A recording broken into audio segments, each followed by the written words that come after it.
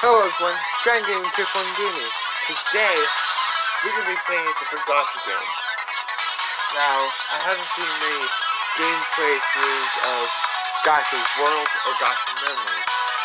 I was going to play Gacha Memories, but looking at it and through the description and whatnot, it's basically the episode that just right after this game. And to make a sense of it, I need to play this game So, that's what we're gonna do. We're gonna play Gacha World Construction first.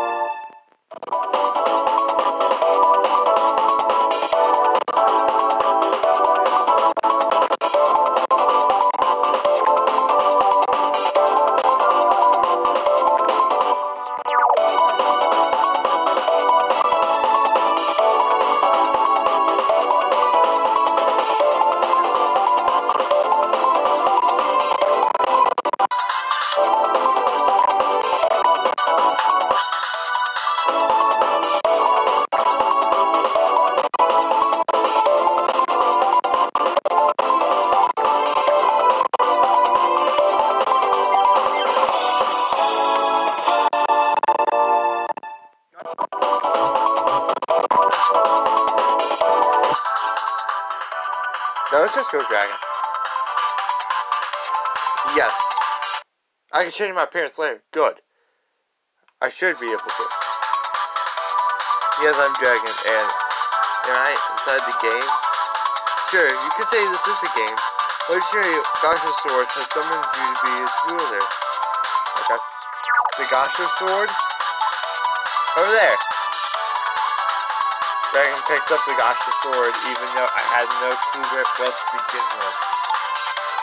Whoa, is this a real sword? Oh no! What wrong? Sword is supposed to make you very powerful. Looks like you need to start all over. Just a game, right? Of course I'll start level 1. Yeah, a game.